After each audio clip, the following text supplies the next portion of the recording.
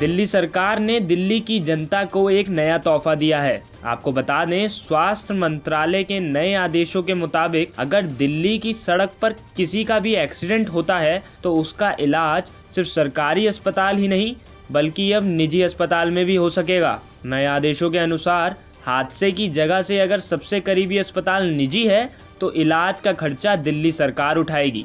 इस आदेश को प्रभावशाली तरीके से लागू करने के लिए 340 निजी अस्पतालों के साथ समझौता किया गया है। इसके साथ साथ गुड सैमरिटन स्कीम को बढ़ावा देते हुए अगर कोई शख्स किसी जख्मी इंसान को अस्पताल तक पहुंचाता है तो उसको दो हज़ार का इनाम भी मिलेगा।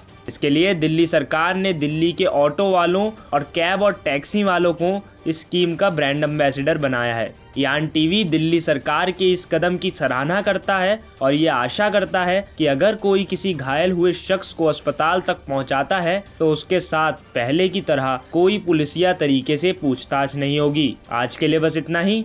देखते रहिए यान न्यूज़।